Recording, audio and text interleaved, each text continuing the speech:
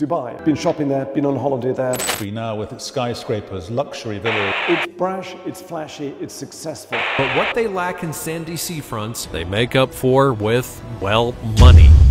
Everything I've ever seen about Dubai tells me it isn't for me. It's a city built for the wealthy, and everything's designed to be as luxurious as possible. And I use the word designed intentionally. While you're here, you feel like you're in a place that shouldn't exist. It's in the middle of a desert and it's too hot to be outside for more than 10 minutes. But despite that, there exists one of the most massive cities in the world. You like tall buildings? We got the tallest building. You like five star hotels? We have seven star hotels. You like infinity pools? We got the highest infinity pool. Oh no, you wanted a deep pool? Well, we got the deepest pool. The culture of the city is like if somebody opened the Guinness Book of World Records and said, alright, bet. So with all this vanity and ultra luxury, I just had one question. What is there for a normal person to do in Dubai?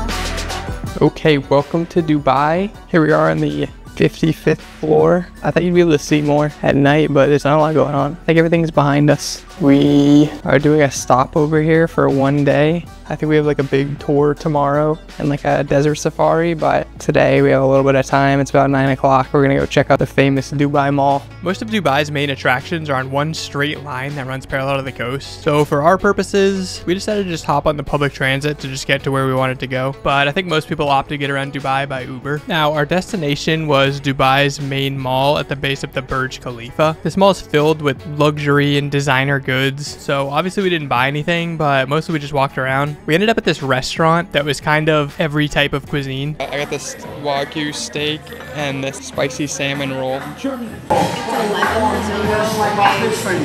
And it had great views of the Burj Khalifa and kind of the courtyard outside. And this is a theme we start to notice. Like the culture of Dubai is kind of whatever you want. Fiesta Italiana. Not only can you have Mexican food, but you can also have Italian food at this hotel. As long as you have the money. This meal was $120, but maybe we paid for the vibes. We just woke up in Dubai and we can now actually see out this window. Kind of crazy to look at. Like everything is just so brown. You can see out there. It's kind of a cloudy day or a dusty day. I don't know what it is. What's on the agenda today? so today is my birthday.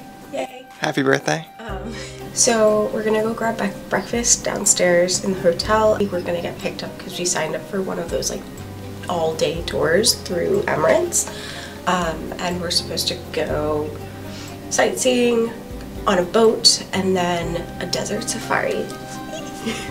So this day one Dubai experience was two part. First part was mostly just driving around in a bus, looking at all the stuff that people much richer than you get to do.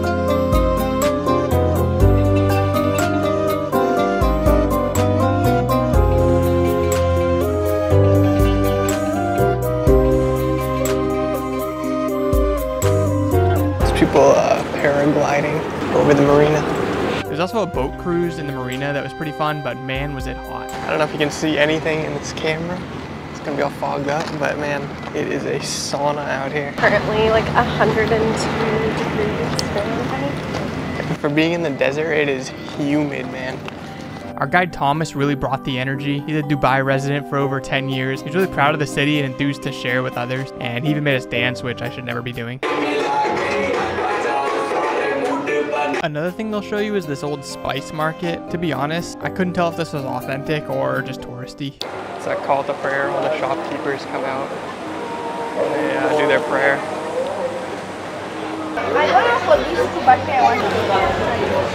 Thoughts?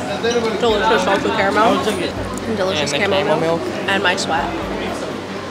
Your face is glistening. Okay, and the last part of the day was something called dune bashing. Now, I didn't really know what this was. Here's Tiffany with the camel. We're at our last activity of the day, which is dune buggies, dune bashing, they call it in the desert. So I thought we were going to be going out in ATVs like I've seen other people do in the desert, but that's not what this was at all. We get to the end of the road and the guy starts deflating the tires. Basically, they take an SUV, they drive it out into the desert, and they do everything they can to try and flip it.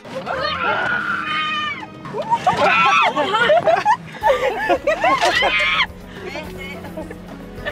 cute. Thank you, Camille. We get some really cool pictures out of it.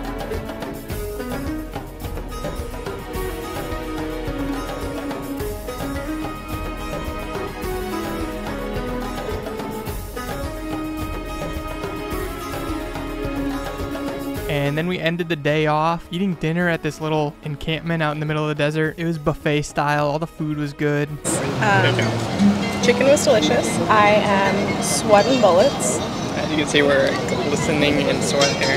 It is so hot, but food's good. And we got some entertainment. He does not want to be pet. He just, had a long day of work. They went through a whole host of traditional Arabian dances.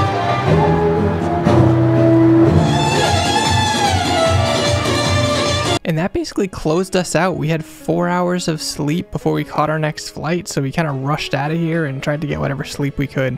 Ah, what a video. Would you say there's stuff to do in Dubai for a normal person? We did the tour. It was like relatively inexpensive, but like as you're walking through the malls and like we stopped by a restaurant to eat, we paid probably $200 for two entrees, one dessert, and like one lemonade, which is a lot. So I would say do it's probably it's doable. I it might be like a little bit limiting for the budget. And would you recommend Dubai as a tourist destination? Feels like a good place for a stopover, which is exactly what we did.